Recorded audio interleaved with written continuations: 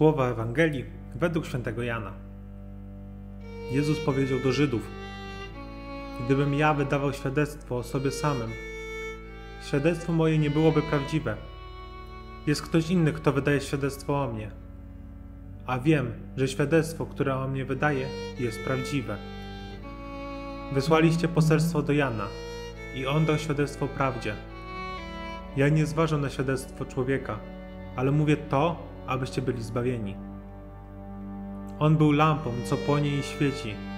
Wy zaś chcieliście radować się krótki czas Jego światłem.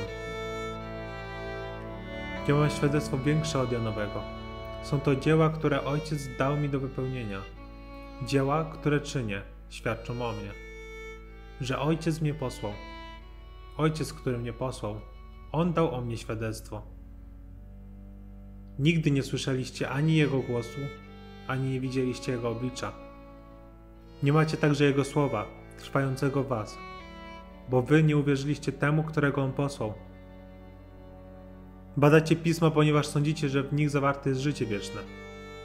To one właśnie dają o mnie świadectwo. A przecież nie chcecie przyjść do mnie, aby mieć życie. Nie odbieram chwały od ludzi, ale poznałem was. Że nie macie w sobie miłości Boga. Przyszedłem w imieniu Ojca mego, a nie przyjęliście mnie. Gdyby jednak przybył ktoś inny we własnym imieniu, to przyjęlibyście go. Jak możecie uwierzyć, skoro od siebie wzajemnie odbieracie chwałę, a nie szukacie chwały, która pochodzi od samego Boga? Nie sądźcie jednak, że to ja was oskarżę przed Ojcem.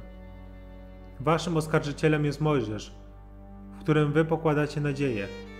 Gdybyście jednak wierzyli Mojżeszowi, to i mnie wierzylibyście. O mnie bowiem on pisał. Jeżeli jednak jego pismom nie wierzycie, jakżeż moim słowom będziecie wierzyli?